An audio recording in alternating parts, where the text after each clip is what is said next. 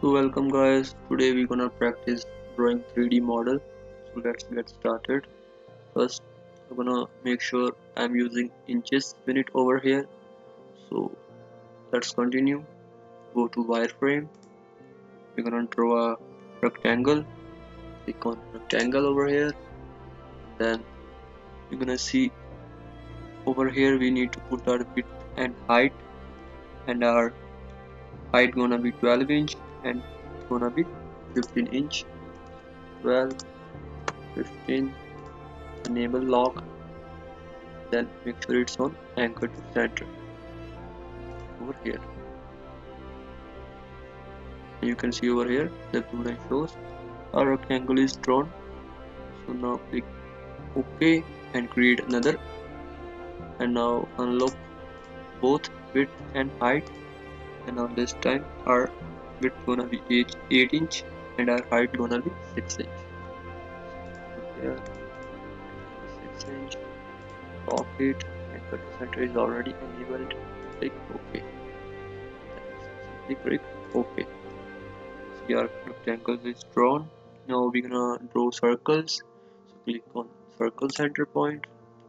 And then make our radius gonna be 0.375 not actually it's gonna be 2 inches. Lock over here. We're gonna do on all four corners. Okay here, here. okay and create a new operation. Now unlock the radius. This time our radius gonna be of diameter. Sorry diameter gonna be 1.5 inches so 0.5 inches lock it similarly concentric to other circles. And click ok. See over here. Now we're gonna delete some entities. So now we're gonna delete some geometry. So go on divide. Read this. Read this. Similarly to all four sides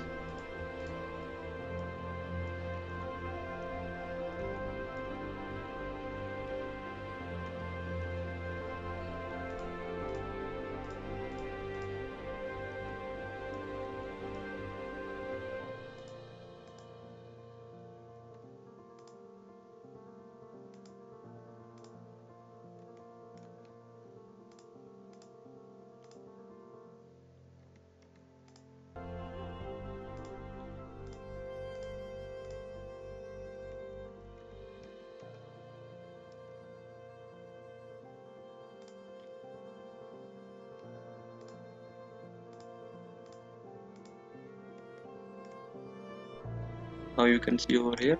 All four four sides are divided so click ok. And now we're gonna do a radius of corners.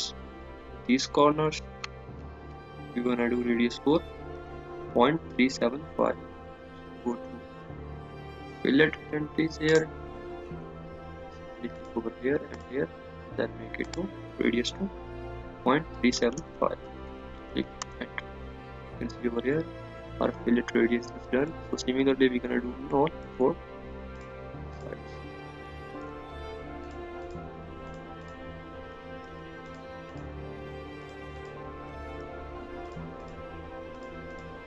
uh, now outside boundary radius are done. Now we're gonna do inside radius? So this time our radius gonna be of 0.75 so we will change it over here. 75 here inside four corners? Click ok and now our 2d geometry is drawn. Now we're gonna do 3d extrusion for a solid model. So go to solid over here and then just click on extrude. Okay. Now hold shift key and select this chain. You can see all chain is selected. Outside boundary click ok now you're gonna see over here the arrow is upside. So we're gonna make it to downside over here. See over here the arrow is downside. And this time our thickness gonna be of 4 inches. 4 you can see over here it's 4 inches down.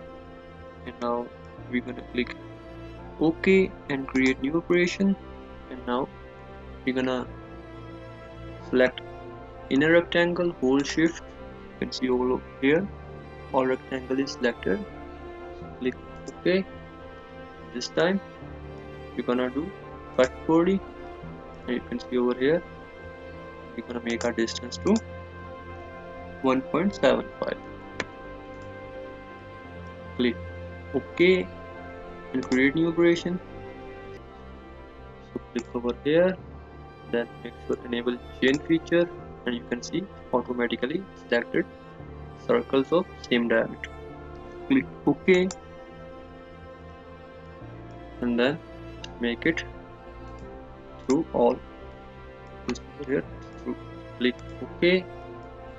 Go to isometric view by holding alt and 7 over here our 3d model is ready for machining. Thanks for watching guys. If you like this video please do like if you have any queries please don't forget to comment and see you in next video